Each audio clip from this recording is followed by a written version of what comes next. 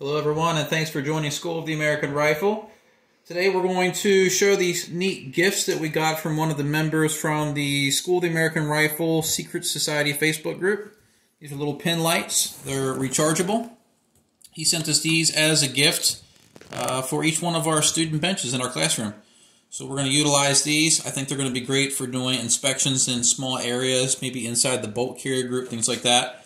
Um, we're not selling these on our website. Just wanted to give uh, Luke Christopher a shout out for sending these neat gifts to us. It's a rechargeable pen light. Let me see if I can get this on camera. It's extremely bright. Um, if you unscrew this, it's a small rechargeable battery. It looks like a stick style battery. Um, it comes with a USB wall charger, a cigarette lighter 12 volt charger, and then it has the USB cable. And the way you do it, instead of having to take the battery out, you just push this on and plug the USB cable in. You may notice this is a different backdrop than we normally have. This is the School of American Rifle kitchen. But uh, really neat little things. I think we're going to get some good use out of them in classes. I'm not sure where Luke got these, but I'm sure that you could probably find them online somewhere.